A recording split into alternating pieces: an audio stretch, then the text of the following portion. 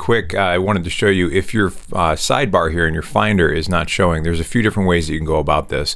Uh, one, if you go up to View, if you're already clicked onto your Finder, go to View, and then we're going to go to show sidebar. So now you can see the sidebar has opened up, but I'm still missing some items here as far as some of my favorites. So again, just showing that again, if you go to hide sidebar, that's going to disappear. We're going to open that back up, but it might be something as simple as the fact that maybe you have clicked this button by accident. So if you click show, or hide, your favorites are going to go up right there and you can do that on each one of these items. So it might just be that you have clicked that as well.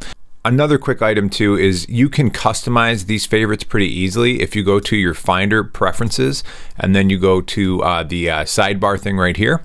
Uh, here you can add something, so I can add movies and then you'll see movies pop up. And then you can also drag things. So if I want to just drag this into my favorites right here, now I'll have my photos for printing.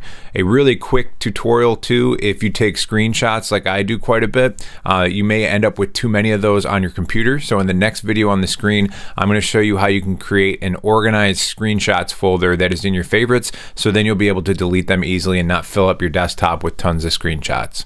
All right, guys, thanks for watching and I'll catch you in the next video.